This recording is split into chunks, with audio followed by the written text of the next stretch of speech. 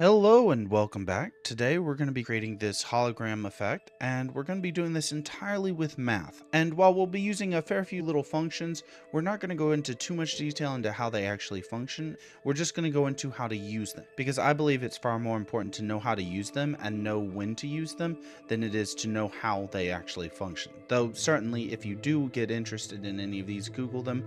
They are very interesting to learn. About. But let's go ahead and get started. The first thing we're going to do is we're going to go ahead and create a new shader and I've already created that. We're just calling it hologram. This effect is going to be built up from a couple different effects. The first one is going to be a scan line, and that's just going to be lines across the surface going upwards. Then we're going to have an edge shader, and then we're also going to have a highlight around meshes. And then right at the edges, we're also going to have it fade away. So the first thing we're going to need is the fragments world position. We can do this by creating a new node for the vertex input, as well as a new node for inverse view matrix. And the inverse view matrix, you can kind of just think of it as like a transform that if you multiply any vector by it, it will convert it from local space into the actual world space. So if we go ahead and do a new transform multiply, and we drag in that input and we go ahead and output that into the albedo. You can see it's green now because the y-axis is greater than 1, but if we move it down below, you can see it turns black. And then over here it turns red. And that's just because the different positions are being output as greater or lesser than 1, which can't really be rendered via graphics. So we can go ahead and leave that right there.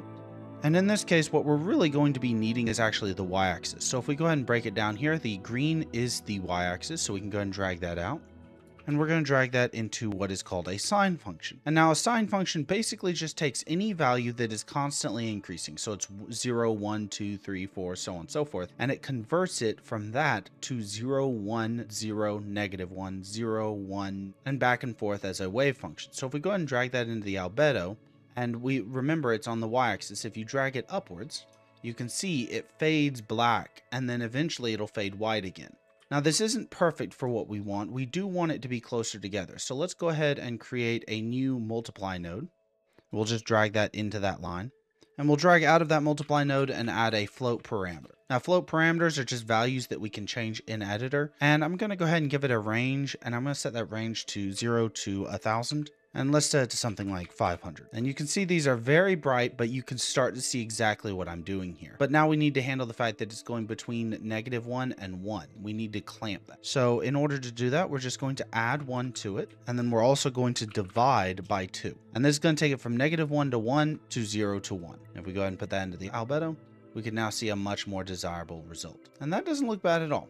Now we do need to go ahead and move them upwards over time. So let's go ahead and add in a subtract node. We're going to drag that in right there. And we're going to be subtracting from it time, which is an input, multiplied by a float parameter. And this float parameter, we're just going to call both of these scanline width and scanline speed. Now scanline speed, let's go ahead and create a new range and let's make that say 15 default. So now you can see they are slowly panning upwards.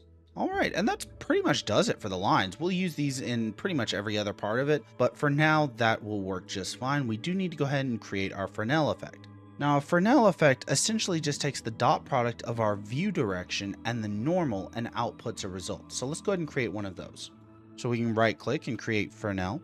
Now, this function pretty much does everything that you need it to do. If we go ahead and just pass it into the albedo and click the little button up here at the top right to look at the generated code, you can see how we're using the power of the clamp result of the dot product, which in essence just means that we're adding in a little bit of functionality to control specifically the power. So if we just set this to something like 2, you can see the Fresnel gets farther towards the edges. We do need to go ahead and expose this. So we're going to create a new float parameter for this one. We're going to call this one Flo Fresnel Power. And we're going to set it to a default of 2. Now, before we add this, I also want to go ahead and combine in at this point the actual proximity highlight. So to do that, we can use something called a proximity fade. Now, proximity fade is actually, surprisingly, despite the fact that it's much smaller than the Fresnel, much more complicated than the Fresnel it takes in quite a lot of different information in order to construct that, and it uses something called a depth texture, which is a little bit outside of the realm of this tutorial, but I'm definitely going to be doing a tutorial on it in the future. But safe to say for now, it just takes the distance between the current position on the mesh and any meshes behind it and outputs it. In this case, based off of a distance, which in this case is just one. Let's go ahead and create a new float parameter for that. We're going to call that float parameter proximity highlight. We're going to give it a default of something like 0.3. All right, so let's go ahead and invert that because I don't really want it to be black to white. I want it to be white to black. So let's go ahead and do one minus. Now one minus, all this does is take whatever the value is, take one and subtract the value from that. So as a result, instead of 0 to 1 as a gradual scale, it will now be 1 to 0 as a gradual scale.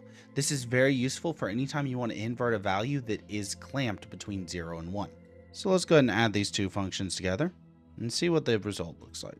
And that's starting to get somewhere. So let's go ahead and multiply this by our scan lines. Now you can start to see the effect we're having. Now if you look right at the edges, I don't want it to ever be black right at the edge. So what we're going to do is we're going to use a mix function what a mix function does is blend between the A value and the B value by whatever the weight is. In this case, we're just going to blend it halfway, and we're going to blend it between the version that has the scan lines and the version that was the original version.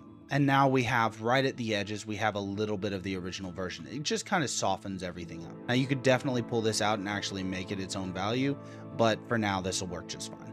Now, in addition to this, I do want to factor back in the scan lines in the center a little bit. What we're going to do to create that is we're going to multiply the scan lines by a float parameter, and we're going to call this scan line center weight. We're just going to set it to a range between 0 and 1, and let's put it at something like 0.02. Now we can just go ahead and add that back into the original. Now you can see ever so slightly right in the center, you can still see the scan lines.